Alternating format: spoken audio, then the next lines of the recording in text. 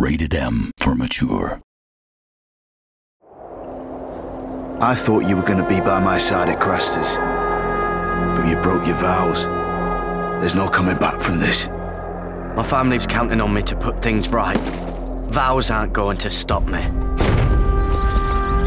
Why did you come here? I just need your help. My sellswords will help me free the slaves of Meereen. Get them into the city, and I will see that you are rewarded. Why the hell are you drinking? I have always hated this place. Lord Whitehill is conspiring against my family, and someone is helping him. Lena, Something's happened. I command Father's elite guard.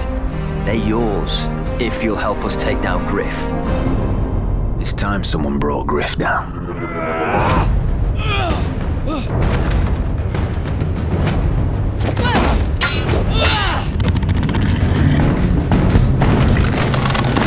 What are your orders?